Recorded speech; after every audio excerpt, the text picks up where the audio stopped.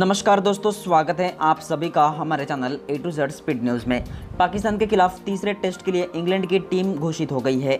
बता दें कि सीरीज़ का आखिरी टेस्ट मैच साउथ में खेला जाएगा।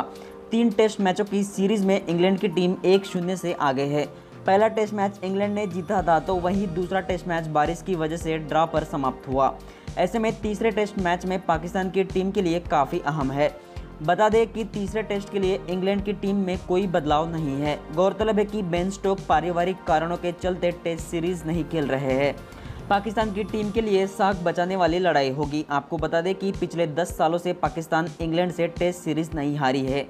तो वही इंग्लैंड ने अपने घर पर पिछले 6 सालों से टेस्ट सीरीज़ जीतते आई है। इंग्लैंड पाकिस्तान के बीच तीसरा टेस्ट मैच साउथ हैम्पटन के रोज बॉल क्रिकेट स्टेडियम में खेला जाएगा। तीसरे टेस्ट मैच का लाइव प्रसारण भारत में दोपहर साढ़े तीन बजे से होगा।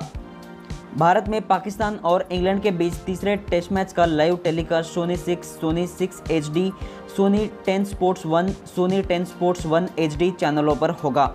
इंग्लैंड और पाकिस्तान के बीच तीसरे टेस्ट मैच का live streaming Sony LIV app पर भी होगा। इंग्लैंड की playing eleven. Rory Burns, Dominic Sibley, Zak Crawley, Joe Root captain, Ollie Pope, Jos Buttler wicket keeper Chris Woakes, Sam Curran, Dominic Bess, Stuart Broad और James Anderson.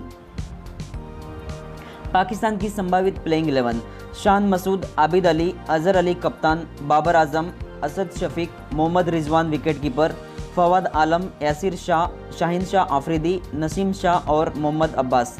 दोस्तों, तीसरे test match में कौन सी team जीत सकती है? आपका विचार हमें कमेंट करके ज़रूर बताएँ। और अभी तक आपने हमारा यूट्यूब चैनल सब्सक्राइब नहीं किया है तो सब्सक्राइब करके बेल आइकन ज़रूर दबाएँ। धन्यवाद, जय हिंद।